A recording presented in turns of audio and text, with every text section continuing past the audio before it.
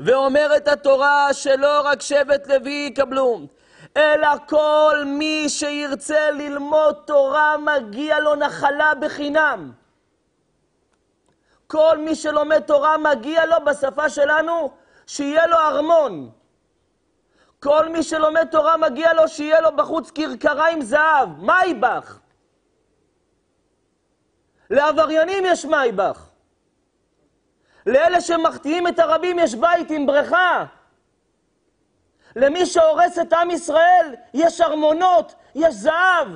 אומר הקדוש ברוך הוא, אלה שעושים תורתי ושורפים אותה, להם יהיה, ולבניי, אשר בזכותם קיים אני, שהשם אחד ושמו אחד מקיימים, הם לא יהיה. איזה קטרוג זה על עם ישראל. שמפרנסים את מי שהורס את העם, ולא את מי שמחזיק את העם. ומי מחזיק את העם? בני התורה שלומדים ומלמדים תורה.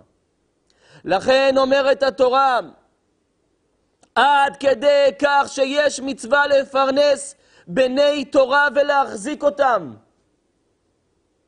היה רב אחד בישראל. אתם לא תאמינו מה הוא מספר. והוא מספר שכל חיי ראיתי נגידים. זה מי שמספר זה מרן החפץ חיים.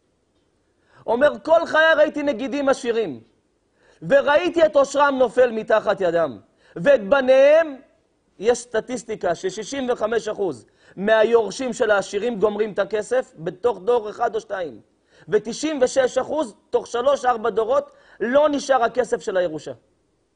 אומר מרן החפץ חיים, ואני ראיתי נגידים שמחזיקים בני תורה, עד כדי שרכשו להם בתים וקרקעות וכרכרות, ומימנו אותם והאכילו והשקו אותם עד כדי שלהחזיק מזלג, וכף לתת להם עם אוכל בפה.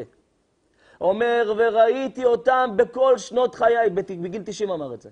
הוא אומר, ומסופרני, מבית אבי אני יודע, שאבא של סבא של סבא שלו היה עשיר, והוא נהיה יותר עשיר. אמר לי אבא שלי, עד שראיתי בעינייך, שהיו מחזיקים בבני תורה, ועושרם לעולם לא נופל. הבטחה אלוקית. אנשים קונים פרנסה, אנשים מבקשים פרנסה.